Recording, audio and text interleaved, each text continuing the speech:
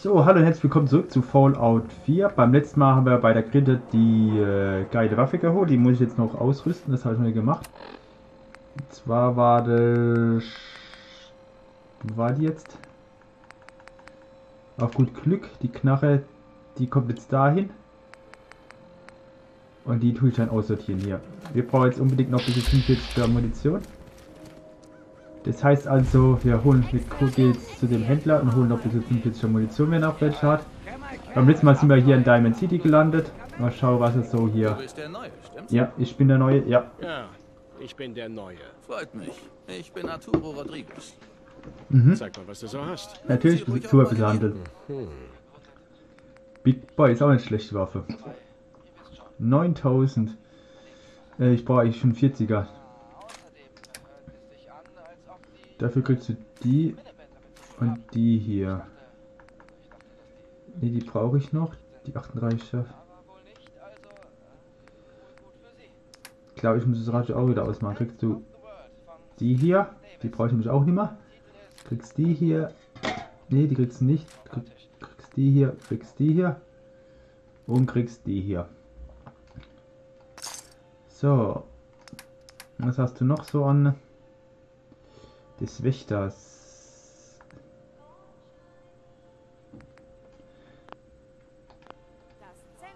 Und ich muss mal gar kurz gucken, ob ich das Radio aus ausgemacht habe.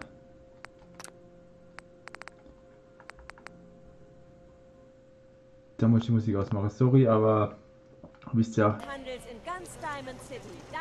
wir. ist, ist die Musik Hey, aus. Weißt du, eine Schrotflinte ist eine gute Ja, nee, zu dem wollte ich gar nicht mehr. Aber ich brauche im Moment nichts. Klar, lass dir ruhig Zeit. Die lassen mir so die Zeit, weil ich da noch, Wagt euch nicht unbewaffnet vor die Mauer. noch was gucken möchte. Ähm, und zwar zu Fallons. Die haben nämlich auch so eine geile Rüstung. Ein Teil von der Rüstung. Wie grau wie welcher Teil das ist. Wenn es der richtige Teil ist, dann wird der Teil gekauft. Sehr gut. Äh, hallo? Warst du schon mal hier? Ja. Ja, schon oft. Wirklich? Okay.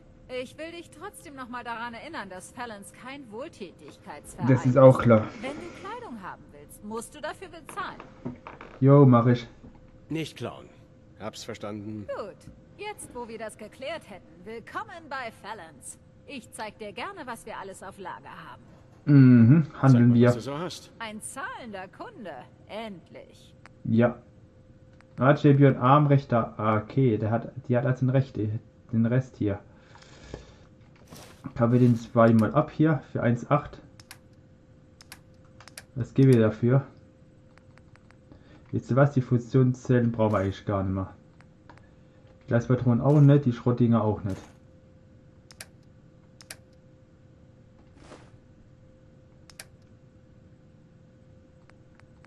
Day brauchen wir auch nicht. Jet haben wir genug. Jet benutze ich wieso nie, das können wir auch verkaufen.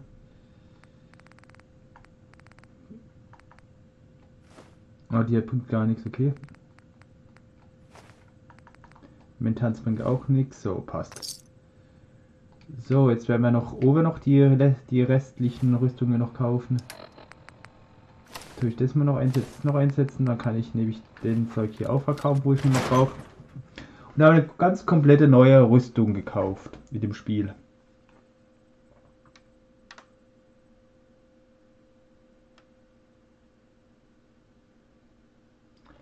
Ja. Keine Bewegung, Zünd. Was hast du mit dem echten Riley Was gemacht? geht denn ab? Wo ist mein Bruder? Ich schwöre, ich bin kein Sünd. Nicht schießen! Um Himmels Willen! Wir sind eine Familie! Nimm die Waffe runter, sofort! Er ist ein Zünd! Er wird uns alle töten! Boah, mit einem Schuss erschossen. Okay, die Show ist vorbei. Es gibt keine Sins in Diamond City, hört ihr? Nur euch und eure scheiß Paranoia. Was willst du, Sheffield? Alles klar? So durstig. Der Doktor sagt, ich darf keinen Schnaps mehr trinken. Ist auch richtig so. Ich brauche eine Nuka-Cola. Die Nuka-Cola brauchst du? Ich muss was trinken. Nuka-Cola. Ja, ich hab so, ich hab so vielleicht eine Nuka-Cola. Bitte.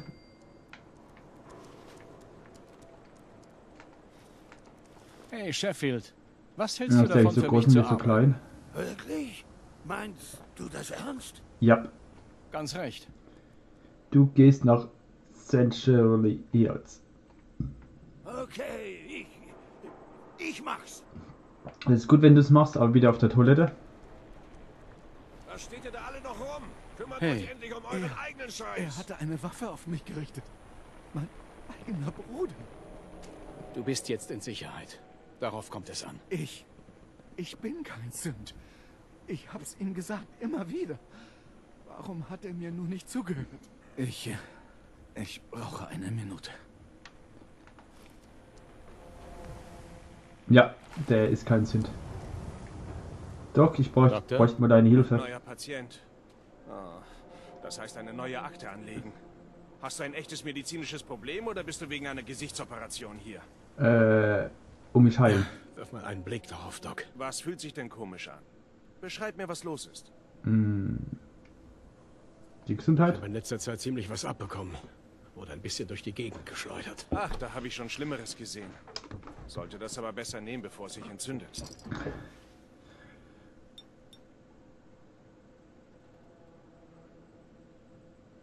Fertig. Und? Gibt's noch irgendwas anderes, was dich plagt? Ja, äh, ach, Alkohol und Camps habe ich in letzter Zeit kaum angefasst. Freut mich zu hören. Sonst noch was? ja, die Gesundheit Ich bin bitte. ziemlich mitgenommen. Du siehst eigentlich gesund aus, aber... Oh, Moment. Ja, das muss gerichtet werden. Genau. Bisschen Palaber in Diamond City. Das wäre geschafft. Stört dich sonst noch was? Hm, nicht. Das war's. Dann ab mit dir. Geht die Steuer mir trotzdem nicht, aber ist egal. Arthur, zu dir will ich nochmal gehen. In Sachen Schutz liegst du mit allem, was ich habe, richtig. Handel mir. sehen, was du so hast. Alles in Handarbeit gemacht. Ja, ich weiß, alles in Handarbeit gemacht. Was habe ich jetzt, was habe ich jetzt bei der bei, bei der Tusi gekauft? Champions, Wächter.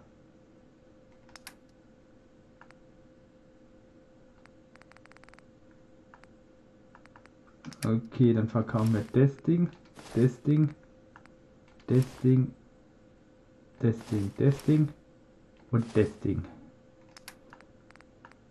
kaufen das und das. Jetzt brauchen wir noch 1000.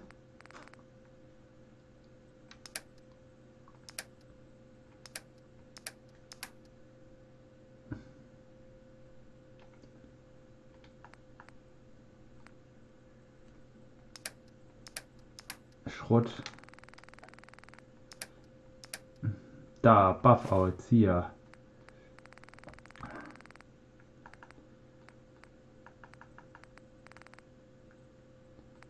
Nee, da muss ich, da muss ich jetzt eine Teil, da muss ich auf, äh, muss ich das wieder zurückgeben. Äh, annehmen, ja. Aber wir haben gleich wieder Kohle, um uns da weiter zu, weiter zu kaufen. 8, 15. Hm. Das war ein Verlustgeschäft. Wenn's Verkauf dir ihm gerade nur das Ding wieder und dann passt wieder. Zeig mal, was du so hast. Selbstschutz in Perfektion. Du, krieg, du kriegst wieder dein, dein komisches Ding hier. ähm, hier habe ich, hab ich jetzt kein Interesse mehr. Dafür nehme ich die hier. So. Sind wir jetzt fast jetzt wieder? Ja, wunderbar. So, jetzt gucken wir noch, was die hat. Du, ich kenne dich nicht. Also bleib weg von mir. Beruhig Ganz dich. Ich bewege mich nicht. Genau das würde ein Sünd sagen. Aber ich weiß nicht. Bist du wirklich ein Mensch? Ja, Ich bin so menschlich wie an dem Tag, an dem ich geboren wurde. Hm, du siehst schon aus wie ein Mensch, aber ich behalte dich besser im Blick. Ich habe Augen wie ein... Nun, sie sind jedenfalls sehr gut. Verstanden? Okay, wir können handeln. Aber kein Blödsinn, verstanden? yes. Klar, ich schau mal, was du hast. Hier. Aber sag bloß nicht Schrott dazu. Ist Schrott. Das E Blender Brustteil. Aber unsere unsere Dings ist besser. Haarklauen brauchen wir nicht. Ah, die hat auch bitte 45er. So.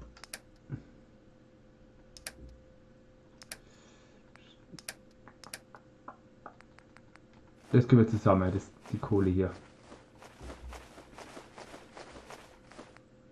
Ah, bringt ja nichts.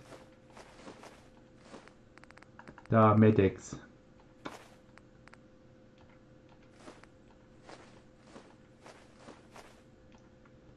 Ne, Steampex brauchen wir noch Taten. Oh, und schon sind wir wieder pleite. Bisschen Munition gekauft, das war's auch schon. Aber das macht uns nichts, denn wir holen uns gleich jetzt noch ein paar äh, Aufgaben. Wo wir viel Kohle machen können. Zwar fragen wir jetzt mit der, ob der Arbeit hat. Hier kriegst du deine Medikamente. Was immer du brauchst. Ich suche nach Ich Arbeit. Job. Hast du was für mich? Ja, ich hab was. Ich suche nach mutiertem Farn, falls du da also was findest. Ich habe gehört, dass er in der Nähe des Waldsumpfs wächst. Ist ein natürlicher Strahlungsfresser. Wäre super für die Herstellung von Radix oder Radaway. Und Geld Wenn du bitten. doch ein bisschen was drauf legst, könnte ich Interesse haben. Okay. Wie wär's mit 125 Kronkorken? Komm schon, es soll sich doch auch für mich lohnen. Genau, es hat sich doch auch nicht verhandelst lohnt. echt knallhart. Na gut. 150 Kronkorken. Hm, ist mir noch Ich zu wenig. jetzt, wenn du mir kein anständiges Angebot machst. 200. Mehr kann ich nicht zahlen. Ich schwör's. Gut. Ja. Mutierter Farn. Klingt gut. Cool. So, mutierende Farbe. Dann hat unser Baseballman hier noch ein paar Aufgaben für mich. Da konnte man nämlich auch noch viel Kohle machen hier. Entschuldigung? Das ist immer wichtig, dass am Anfang immer Charisma auf Stufe 10 macht. Denn dann könnt ihr jeden äh, überreden. Hm, Suche nach Arbeit. Arbeit für mich? Wenn du was für den Sport tun willst. Ich weiß, wo es ein paar Sammlerstücke aus Vorkriegstagen gibt. Trainer, aufgeben ist für Penner Westing. Hatte ein Anwesen nicht weit von hier. Angeblich soll er zu seiner Pensionierung von der Liga drei Geschenke bekommen haben. Einen Baseball, einen Fängerhandschuh und eine Baseballkarte von allen anderen Trainern unterschrieben. Du kannst dir vermutlich schon denken, was jetzt kommt. Ich zahle dir für jedes dieser Relikte 100 Kronkorken. Nur- Was sagst du? Nur 100 Kronkorken ist ein wenig. wenig. Ich will mehr. Mir gefällt, wie du denkst. Bitte. Dir gehört ein ganzer Laden. Da ist doch sicher mehr drin. Da kriegst du ja einen richtig feurigen Blick. Mhm. Komm, nochmal. Du willst mich über den Tisch ziehen. 300 pro Dinger. Komm schon. Zeig mir, dass es dir ernst ist. Oh, wenn Eisaugen Julie jetzt nur deinen Blick sehen könnte. Gegen dich hätte vermutlich nicht mal sie eine Chance. Du hast gewonnen. 200 Kronkorken, aber das ist mein letztes Wort. Also, einverstanden? Ja, Eine Karte, ein Handschuh, ein Ball. Verstanden. so kommen wir zu Quests. Und der Baseballsport dankt dir auch. Jo, gut. Raus aus Field, aus Feld. Officer? Zurücktreten, Plünderer. Ich verstehe, Officer. Ich wollte nur wissen, was passiert ist. Hast du das Geschrei nicht gehört? Der Typ hat seinen Bruder mit einer Knarre bedroht, weil er ihn für einen Synth hielt. Die Zeitung ist schuld. Die hat die Leute in Panik versetzt und ihnen weisgemacht, ihre eigene Familie würde durch Maschinen ersetzt. Es tut mir leid, dass du in die Sache verwickelt wurdest, aber es ist vorbei, okay? Tu einfach so, als wäre nichts passiert. Ist besser so. Jo, dann gehen wir uns Piper. Die wollte auch noch was von uns. Haben wir die Quest auch schon hinter uns, kriegen noch ein paar Erfahrungspunkte.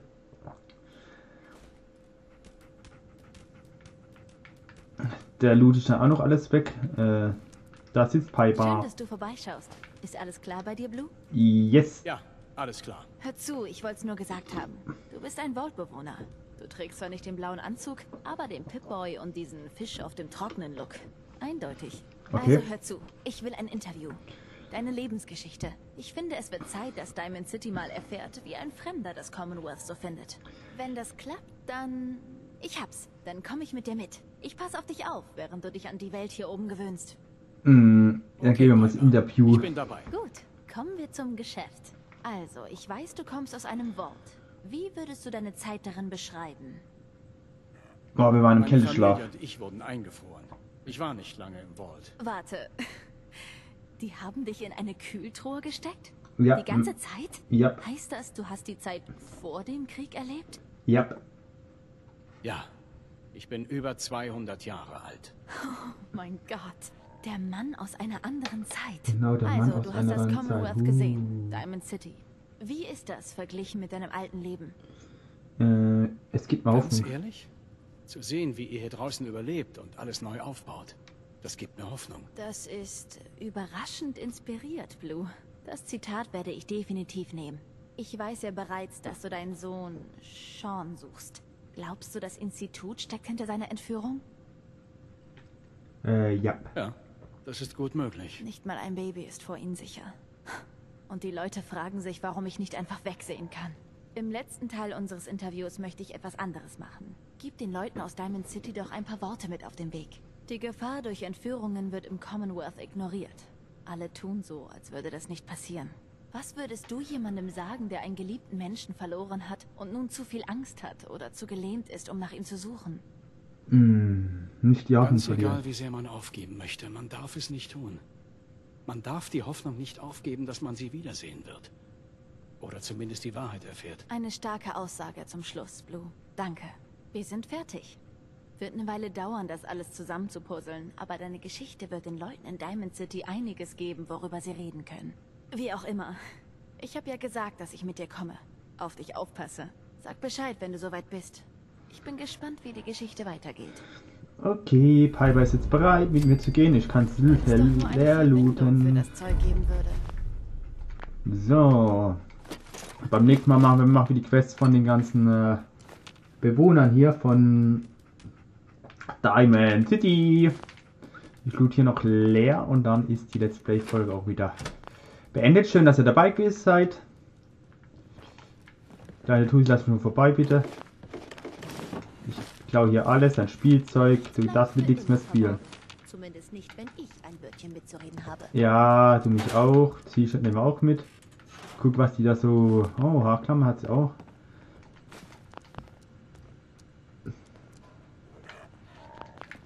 So. Ein paar Steampacks mitnehmen. So, mit diesem Beat möchte ich mich ganz herzlich bei euch verabschieden. Schön, dass ihr dabei gewesen seid. Tschüss, euer Chris auf D6 nach. Ciao.